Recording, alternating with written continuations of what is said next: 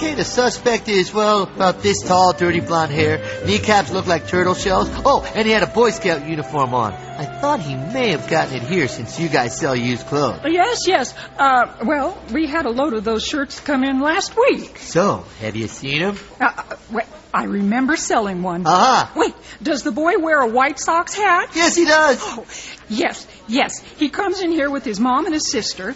Now, they seem like a nice family. The Uh-huh. mom bought his birthday presents here a few months ago, used toys, clothes, you know, that sort of thing. Wow, sounds like a repeat of my life. I got used toys for my birthday too, and they were used by my brother. So what's this boy's name? I have no idea. But I do know that he likes mystery and adventure books. Uh, his mom buys those for a nickel apiece. Okay, and where do they live? I have no idea. Huh? But I do know that the mom drives an old Ford. It's blue and has a big dent on the passenger door. You know, she wants to get a car that gets better gas mileage. Okay, well, uh, where does he go to school? I have no idea. Really? But he does get presents from his aunt every month. You know, his aunt lives in Duluth and she has dyslexia. Okay, well, what's their last name?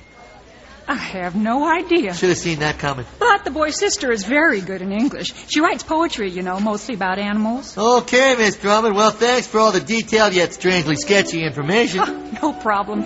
Oh, and if you find them, tell them I'll make a German chocolate cake and bring it over. Ooh. You know, it's the mom's favorite. Mine's are of her childhood when she lived in northeastern Wisconsin. Well, I'll be sure and tell them. Thank you, dear.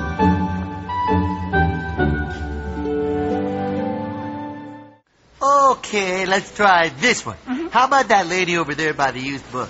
Okay, I've seen her. Good, all right. Now, what is her favorite color? Blue. Favorite book?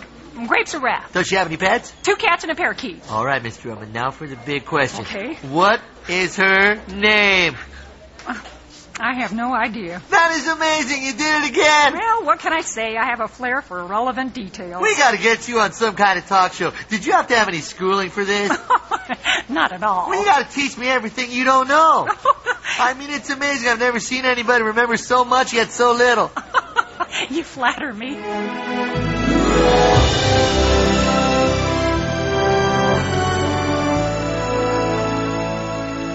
Adventures in Odyssey is a presentation of Focus on the Family.